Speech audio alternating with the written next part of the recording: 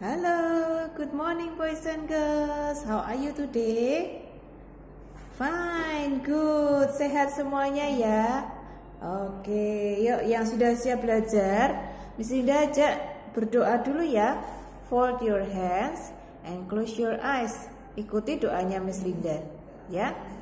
Let's pray. Lord Jesus, we want to study. Bless us and guide us please. Thank you. Amen. Oke, okay, good. Yuk, yang sudah siap belajar, kita mau nyanyi good morning dulu ya. Suaranya yang keras, ya. Good morning boys and girls and how are you? Just fine. Dijawab seperti itu ya. Just fine-nya boleh yang keras. Biar tambah semangat, oke? Okay? Ayo, ayo ready? One, two, three. Good morning, boys and girls, and how are you? Just fine. Good morning, boys and girls, and how are you? Just fine. Good morning, good morning, good morning, and good morning. Good morning, boys and girls, and how are you? Just fine. Sehat semua? Oke, okay, good. Senang Miss kalau anak-anak di rumah dalam keadaan se sehat. Nah, minggu lalu Siapa yang ingat kita belajar tentang apa? Sea animals. Good, betul. Sea animals itu binatang apa? Binatang yang hidupnya di mana? Di laut, ya. Betul sekali. Sea animals. Nah, Miss Indah mau tebak-tebakan sedikit ya. Siapa yang tahu binatang apa yang punya Sungut panjang dua di depan. Badannya panjang. Namanya apa dalam bahasa Inggris? Ada yang tahu? Iya, ini dia jawabnya. Prawn. Ya, udang, prawn. Kemudian, binatang apa yang punya capit? Oh, dua capit seperti ini. Apa namanya? Dalam bahasa Inggris apa namanya? Nih, namanya crab ya. Kepiting. Kemudian binatang apa yang warnanya hijau punya tempurung di sini? Ada rumahnya. Kakinya empat berenang berenang apa namanya? Turtle. Ya good job. Kemudian binatang apa yang sukanya buka tutup seperti ini? Ada mutiaranya di dalam Binatang apa itu namanya? Shell. Ya, good. Kemudian satu lagi. Binatang apa yang berenang kakinya banyak. Terus kalau ketemu musuh dia ngeluarin tinta warna hitam. Binatang apa itu namanya? Squid. Cumi-cumi. Ya, good. Nah, itu adalah lima macam binatang yang kita pelajari hari ini. Ya. Nah, Miss Linda mau ajak anak-anak di rumah untuk mengikutin ya, mengikutin apa yang Miss Linda ucapkan. Ya.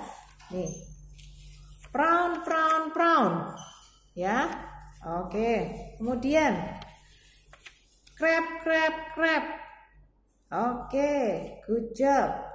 Kemudian lagi turtle, turtle, turtle. Oke. Kemudian shell, shell, shell. Oke, good.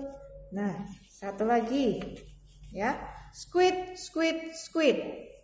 Oke, nah itu ya. Mereka semua adalah tinggalnya di laut.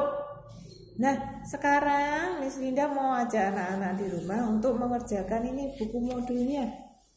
Ya, mengerjakan bersama mama papa di rumah ya. Ah, ini halaman 10. Halaman 10 dan halaman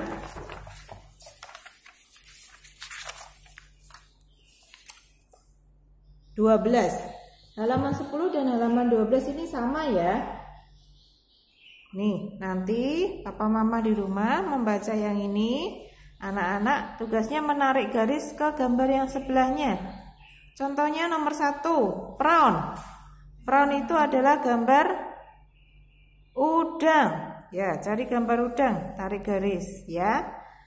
turtle. Turtle adalah kura-kura. Ditarik garis ke gambar kura-kura. Ya. Crab, kepiting. Mana kepiting? Ditarik garis ke gambar kepiting. Squid. Squid adalah cumi-cumi. Ditarik garis ke gambar cumi-cumi di bawah. Dan satu lagi shell. Shell apa tadi? Kerang ya, ditarik garis ke gambar kerang. Begitu. Nah, ada satu lagi PR-nya. Nih. Ini tugasnya anak-anak melingkari ya. Nanti papa mama membaca yang sebelah sini. Anak-anak melingkari yang sebelah sini. Ya, contohnya nomor satu. Turtle. Turtle itu binatang yang mana? Kura-kura yang mana? Oh, yang tengah dilingkarin. Ya. Dua, kepiting. Oh, crab. Crab adalah kepiting. Yang mana yang gambar kepiting? Kepitingnya dilingkarin. Begitu seterusnya sampai nomor 5. Bisa ya? Oke. Nah,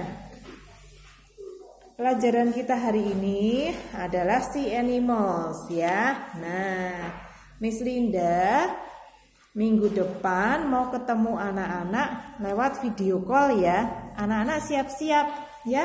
Hari Selasa Nanti kita mau video call. Oke? Kita mau belajar, Miss Linda mau ketemu dengan anak-anak. Dan anak-anak boleh mempersiapkan diri. Nanti hari Selasa, Miss Linda akan video call dengan anak-anak. Jamnya nanti menyusul ya. Oke. Oke, sekian dulu hari ini. Kita ketemu lagi minggu depan, hari Selasa ya. Lewat video call. Oke. Thank you.